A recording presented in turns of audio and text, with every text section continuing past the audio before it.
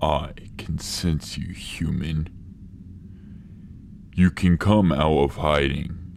My senses are keen enough to sense the subtle vibrations of your every footstep, or hear your every breath. You know it's the polite thing to at least knock, not barge into someone's home like this. You wouldn't want to offend me especially when I am a dragon who has lived far more centuries than you can comprehend, and who has burnt down more armies than you can count. Even in my human like form, I can level castles.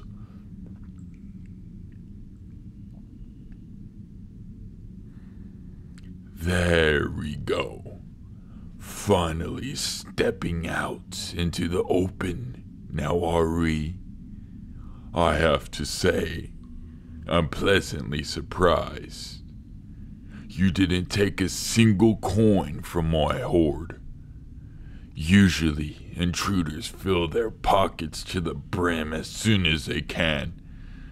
And makes them super easy to hear when they clink with all that gold like that. Though, it's been few millennia since there was a person foolish enough to intrude upon my lair. It's truly surprising you were brave enough to come here.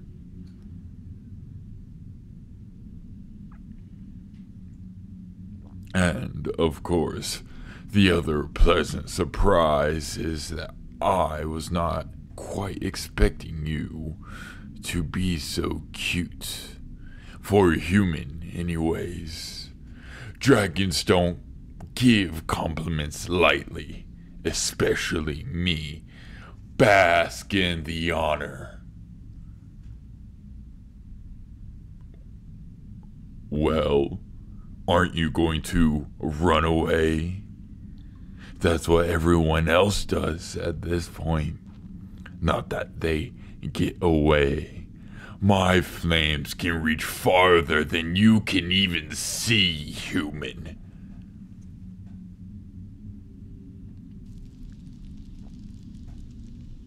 You are still here. You seem awfully calm. You're not sweating. Your breathing is stable. Are you really not afraid of me. That is a first. I don't ever think I've ever met a creature that wasn't afraid to death of me. Even the other dragons don't dare come near me. It's something of source of pride for me. Not that I have any shortage of those, but still. It has its downsides too.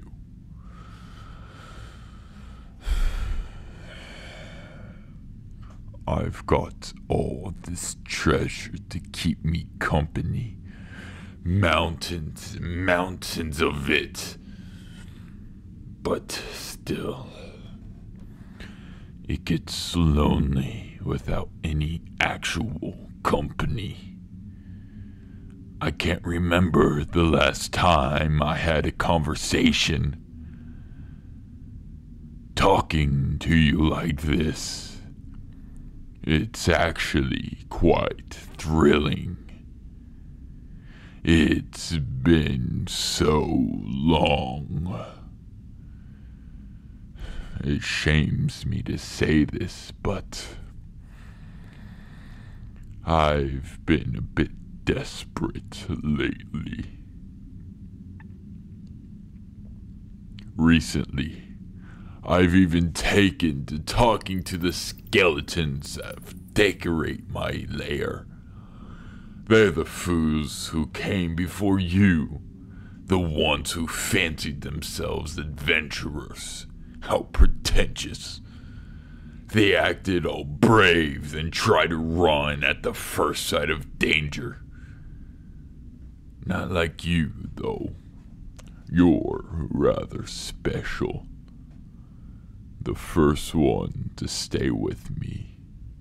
I do like it when you stay with me. But why? Why are you not afraid?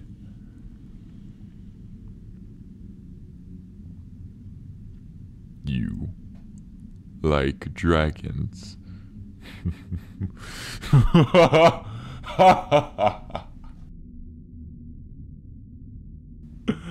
well, I think that has to be a bit of an understatement. You must really love dragons if you're not running away from the strongest and scariest one out there. But you know what, human? It's your lucky day. Because I've grown fond of you too. So much, in fact, that I think I'll keep you.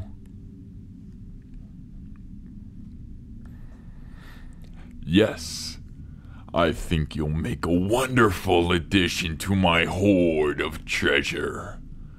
You really are precious. And precious things go into my hoard. You'll be the crown jewel, the only treasure that can talk to me, the only treasure that can keep me company, even when all the gold in the world couldn't. You're not fit to be another skeleton decorating my lair. No. You're far too great for that. You helped a dragon, after all. That's a great honor, you know. I'll give you a second or two to process the glory. Now, come here. I'll allow you to snuggle under my wing. Not that you have a choice. It's a lot more like an order, but still, I'll allow you privilege. There we go. I hope it's cozy for you under there. You just feel so right under my wing.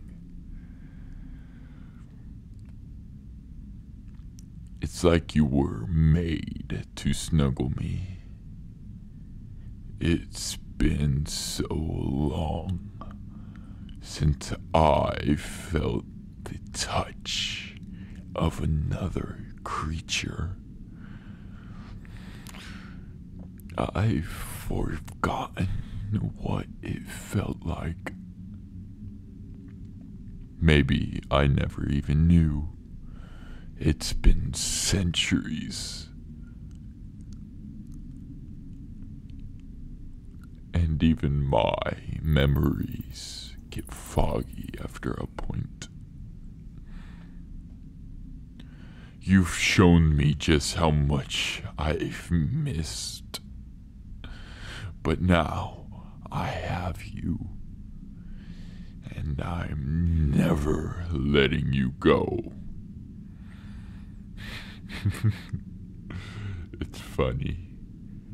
When you have mountains of gold like these, getting more never makes a difference. If I've got another mountain of gold tomorrow, what would it matter? What's another mountain when you already have hundreds?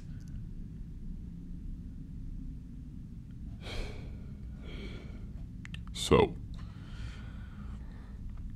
I can't remember the last time I felt my wealth has grown. But now I finally have you.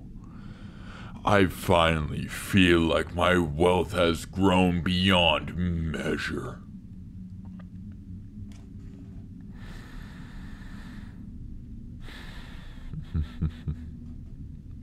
I love you, human, and I need you.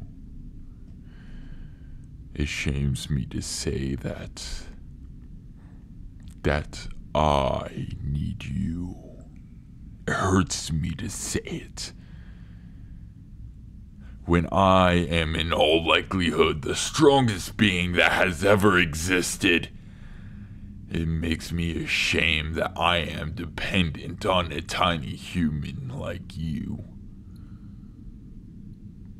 I hope you'll keep it as our little secret.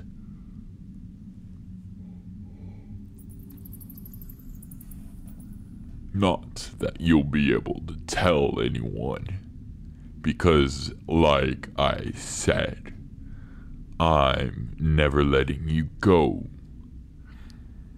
I'm keeping you forever and ever. You're precious. You're so precious. I can't begin to express how precious you are. I love you. You gleam brighter than all of this gold. I love you. Dragons don't even get drunk but the sight of you is making me tipsy.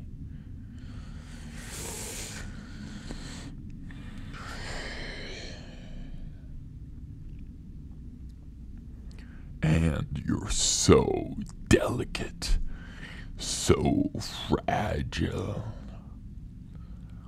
I worry that if I so much as sneeze in your direction, that you'll break. You're as frail as you are, dear. And that only makes you all the more cherished to me. It makes me want to protect you even more. It makes me want to keep you safe and snug under my wing. There's nothing else that can get to you. Where nothing can harm you, where nothing can take you away from me.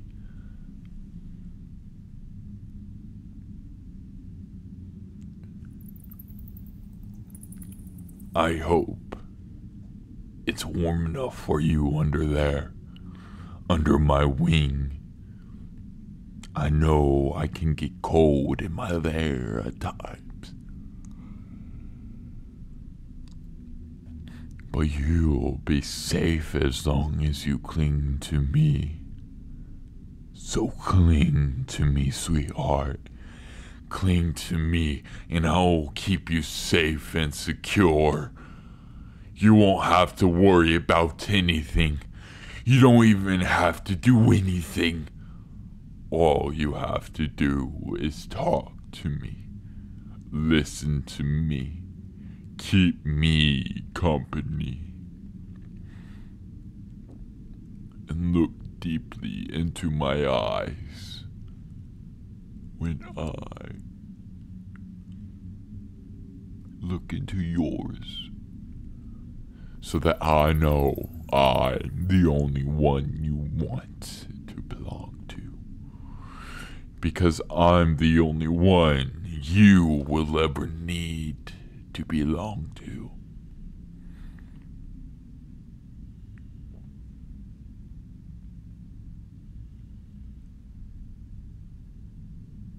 You know, I've never done this before. I don't know if any dragon has, but if you'd like. You could have some of my gold. Dragons never willingly part with their gold, especially one as mighty as me. So, this is a very big deal. So, I hope you'll appreciate the gesture. I know you don't have much use for it, since you'll never be leaving this place. And even if I give you some gold, well, it's just going to be staying in this layer like it was before. So there isn't really much of a difference. But still, it's just, I really do love you, human. You're precious. You're precious. You're so precious. I just want you to understand that. I just want you to understand that you're my most beloved sweetheart. I just want to show you how much you mean to me. I don't know humans very well. I never tried to understand. To me, they were just the fools I burned to death when they come to steal my gold. But I want to understand you. I want to know everything about you. I want to know what makes you tick. I want to know what you like. What is it you like about dragons? What is it you like about me? Is it my wings? Should I stretch them out for you to see? So that you can get a better look at them? Is it my towering size? Should I stand up so that you can see how truly massive I am?